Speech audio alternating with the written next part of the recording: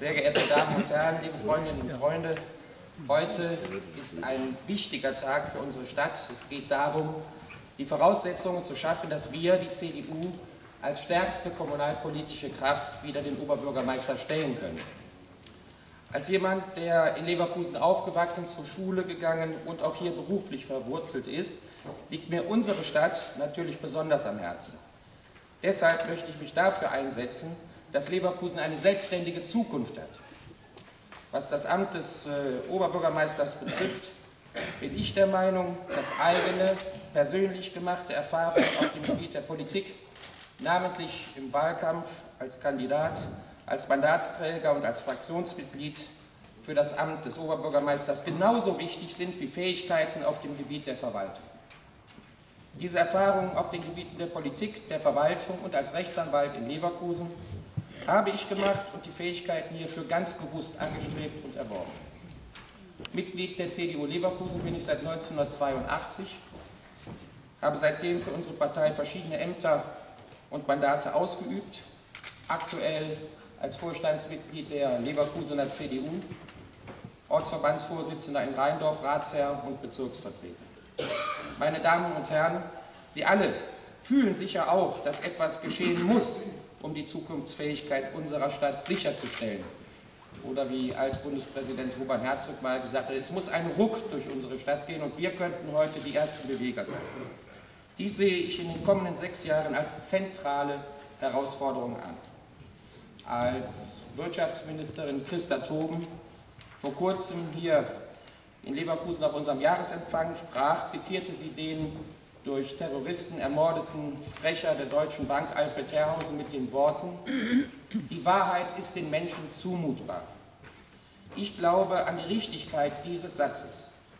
Für uns bedeutet dies, dass wir die tatsächliche Situation unserer Stadt deutlich ansprechen müssen. In diesem Sinne sehe ich mich als Kandidat auch unbequemer Wahrheiten. Weil die Wahrheit aber bekanntlich immer konkret ist, lässt sich eine Bestandsaufnahme am besten durch konkrete Zahlen ausdrücken. Erlauben Sie mir deshalb in aller Kürze einige wenige Zahlen zu nennen. Die Verbindlichkeiten unserer Stadt betragen ausweislich der Eröffnungsbilanz in diesem Jahr aktuell 433 Millionen Euro. Hinzu kommen Pensionsrückstellungen, die im Ergebnis ebenfalls nichts anderes als Verbindlichkeiten sind, weitere 220 Millionen Euro, zusammen also 650 Millionen Euro Verbindlichkeiten per anno dieses Jahr. Dabei hat die Stadt ihre Verbindlichkeiten während der Amtszeit von Oberbürgermeister Ernst Küchler ganz wesentlich erhöht. Dies, obwohl die Entwicklung unserer Stadt in seiner Amtszeit teilweise schon ganz erhebliche negative Züge aufweist. Beispielhaft zu nennen sind in diesem Zusammenhang die Auflösung des Polizeipräsidiums Leverkusen die Schließung der seit 1903 in Leverkusen betriebenen Wetterstation des Deutschen Wetterdienstes sowie die Verlegung des Firmensitzes eines der beiden Leverkusener DAX-Unternehmen, der Firma Lanxess. Dass wir zukünftig die einzige Stadt Deutschlands ohne ein eigenes Rathaus sein werden, das haben wir alle in den Zeitungen lesen können, genauso wie darüber, dass Leverkusen die einzige deutsche Großstadt ohne ICE oder Intercity-Bahnhof ist. Ich möchte Ihnen deshalb an dieser Stelle eine Wahlkampfanzeige in Erinnerung rufen, die die SPD im Wahlkampf 2004, damals war noch Paul Hebbel, unser Oberbürgermeister, geschaltet hat. Ich habe sie hier mal mitgebracht. Unter der Überschrift Chef, da stimmt was nicht, hieß es dort unter anderem, und ich zitiere jetzt wörtlich, jeder weiß, Leverkusen lebt mit seinem Werk. Wenn es dort mal nicht so läuft, muss man zusammenrücken. Aber was macht das Rathaus? Nichts. Es, erfährt aus der Zeitung, wenn Arbeitsplätze an Leverkusen vorbeiwandern. Da stimmt die Chemie nicht mehr.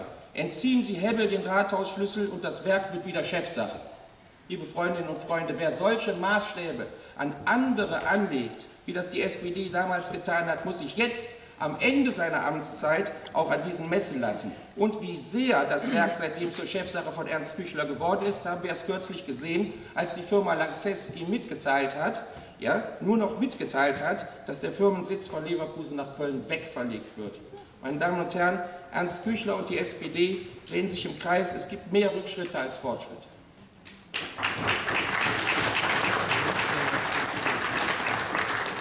Das Bad wird zwar jetzt gebaut, aber wegen endloser Verzögerung zu einem unnötig hohen Preis. Das Rathaus, wie wir jetzt wissen, 700.000 Euro Miete im Jahr für Oberbürgermeister Rat und Bezirke und ein Bürgerbüro. Der Rest muss draußen bleiben.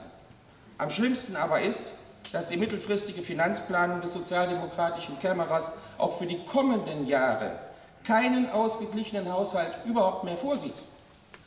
Allein für das kommende Jahr 2009, und dann komme ich zur letzten Zahl, plant die Verwaltung einen Verlust von 87,6 Millionen Euro. Ich habe das mal nachgerechnet, die allerletzte Zahl, das sind 240.000 Euro, die jeden Tag mehr in Leverkusen ausgegeben, ausgegeben werden, als eingenommen werden. Und äh, da, das kann wohl jeder sehen, dass das auf Dauer nicht gut gehen kann.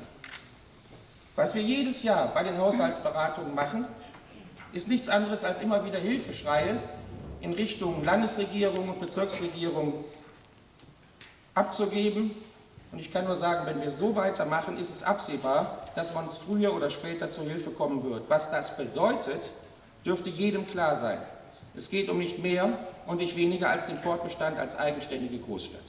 Und hierzu sage ich als jemand, der in Leverkusen aufgewachsen und zur Schule gegangen ist und der ganz bewusst in Leverkusen und nicht etwa in Düsseldorf oder in Köln lebt, ich möchte nicht, dass wir, dass unsere Bürger demnächst fremde Nummernschilder auf ihre Autos schrauben müssen, auch keine Kölner Nummernschilder.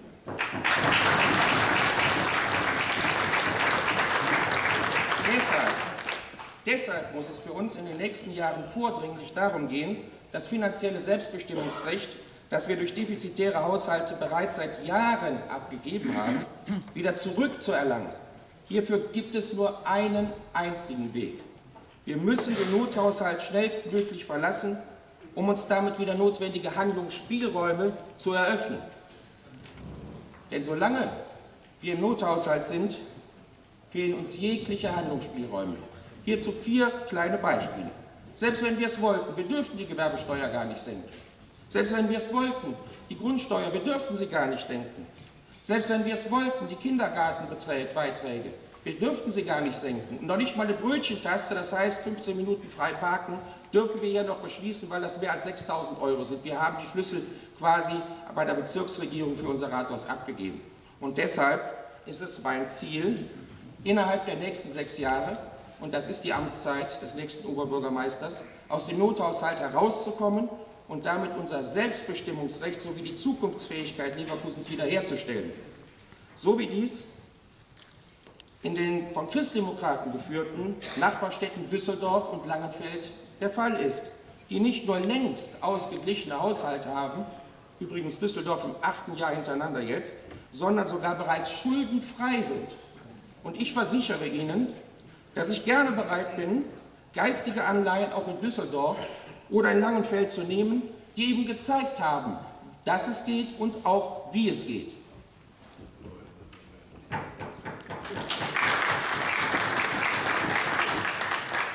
Ich bin davon überzeugt, dass es mir als Oberbürgermeister gelingen kann, die Herausforderungen, die auf unsere Stadt zukommen, zu bewältigen. Dabei sehe ich mich keineswegs als Chefbürokrat, sondern eher als Anwalt unserer Stadt und unserer Bürger, und einen Chefbürokraten brauchen wir auch nicht, denn wir haben eine aus Beamten und Verwaltungsangestellten bestehende, hochqualifizierte Verwaltung, die sich manch größere Stadt so wünschen würde.